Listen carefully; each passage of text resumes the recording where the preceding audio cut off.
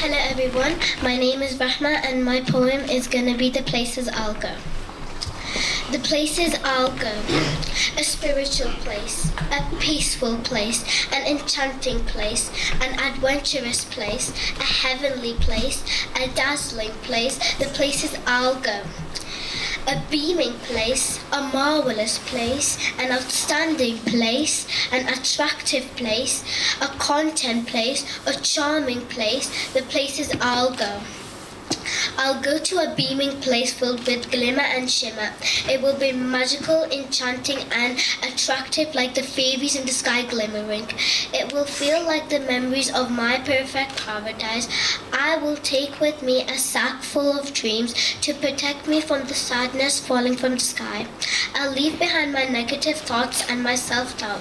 I'll collect a community of kindness.